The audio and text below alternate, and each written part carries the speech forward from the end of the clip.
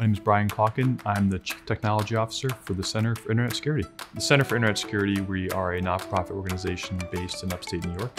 We do a couple of things. One is we offer security best practice guidelines uh, and recommendations, and we also operate the multi-state and election infrastructure information analysis centers.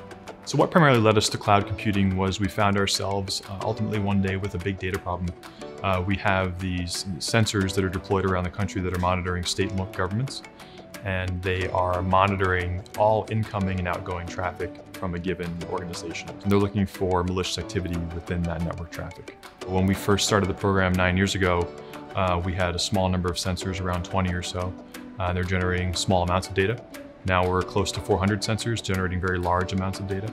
And so um, we were at a point where we needed to make a decision as to whether or not we wanted to invest in additional hardware in our, in our relatively small data center, or if we wanted to look at something like cloud, for instance. We found that AWS, as compared to building either something on-prem or even some going with some of the other providers, was a more cost-effective solution.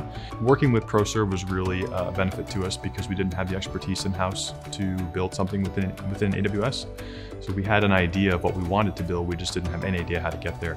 And the folks from ProServe really leapfrogged us really forward and really quickly. We are processing around 68 billion logs a minute we are storing the data in S3 and we are currently querying the data with uh, Athena.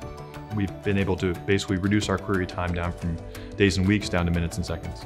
The other thing that we're looking forward to doing, we're just getting started with, is really leveraging the data that's within AWS and some of the tools like AWS SageMaker to start utilizing machine learning and finding malicious activity within all that data. Had we gone with an on-prem solution at the point in time when we started this journey, we would have already outgrown it and it would have already been money not well spent.